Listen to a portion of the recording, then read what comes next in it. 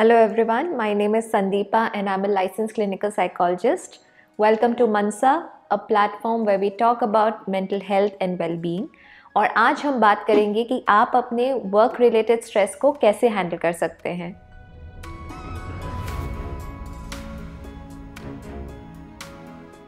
so before we begin let's understand what is stress stress एक physical and psychological state है, जो तब result करता है when the individual does not have resources to meet the demand and pressure of a situation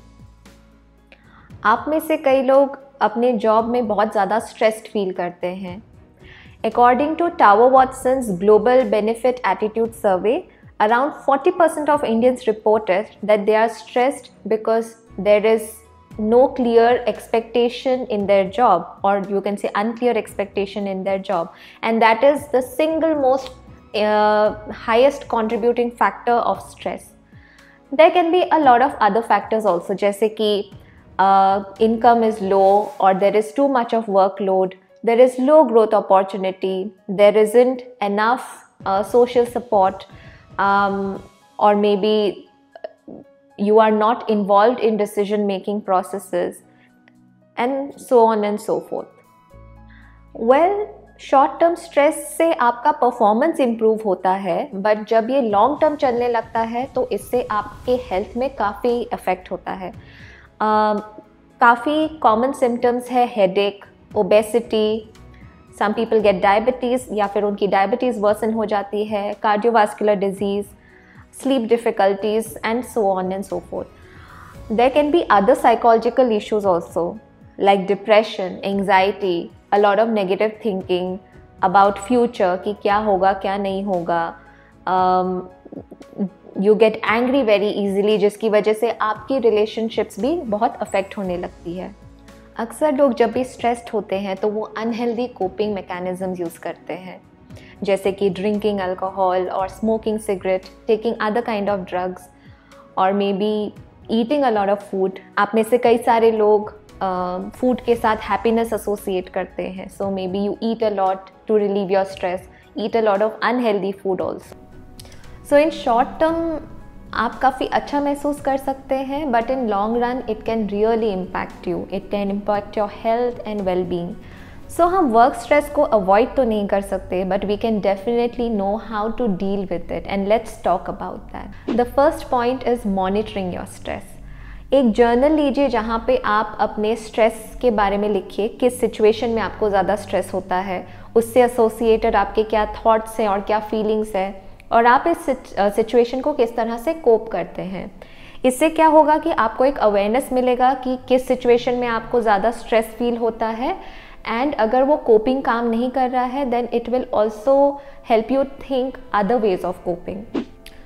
second point have an open discussion with your supervisor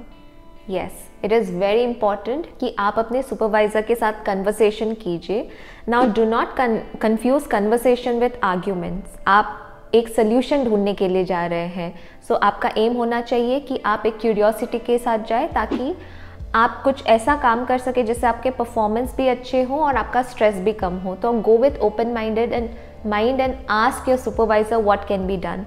so maybe आपके supervisor आपको कुछ ऐसा material पढ़ने को देंगे जिससे आप स्ट्रेस कम कर सके और they might also make some change in your work environment तो definitely go out to them and seek help third point follow healthy ways of coping so मैंने आपको ऑलरेडी बता दिया क्या अनहेल्दी वेज ऑफ़ कोपिंग होते हैं। So it's very important कि आप कुछ हेल्दी ऑल्टरनेटिव्स ढूंढें। So one can be replacing your negative thoughts with positive ones which will motivate you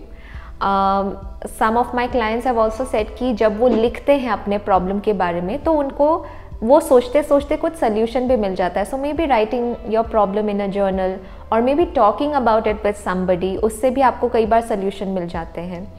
Other than that, have a good lifestyle, do yoga, meditation, exercise, whatever you are comfortable with,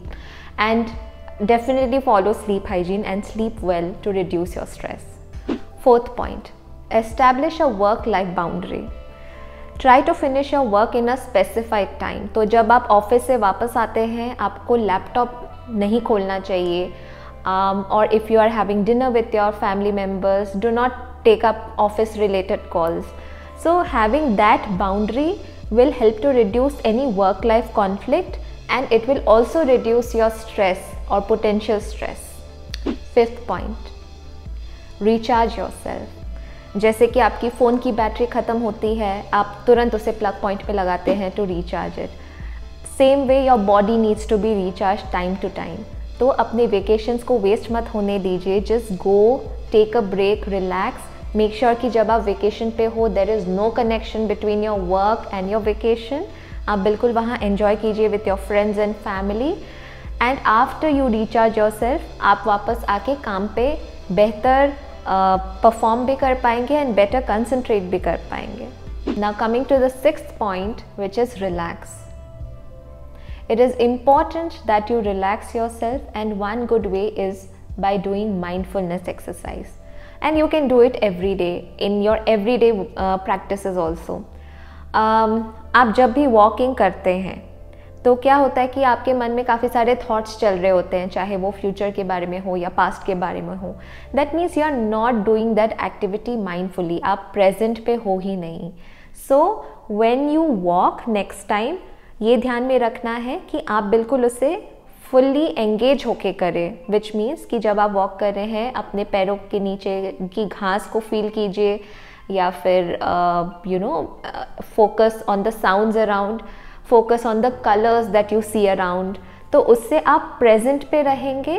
and you will be more aware of what is going on and you will live a more fulfilling experience and you will also be able to handle your stress better. Now coming to the final point which is seeking professional help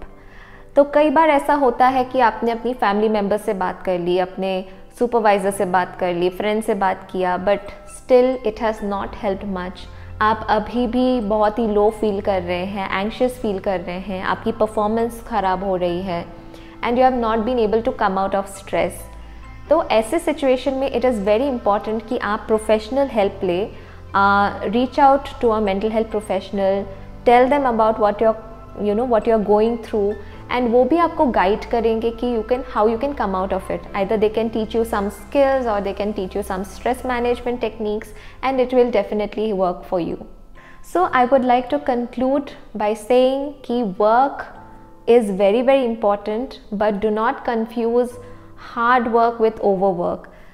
Never work so much that it starts affecting your relationship and your health. And also, do not hesitate to reach out for a professional help whenever needed.